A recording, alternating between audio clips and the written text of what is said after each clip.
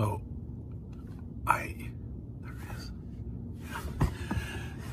I saw Sami's car in a parking lot, and I know it's his car, and I know he never locks his doors.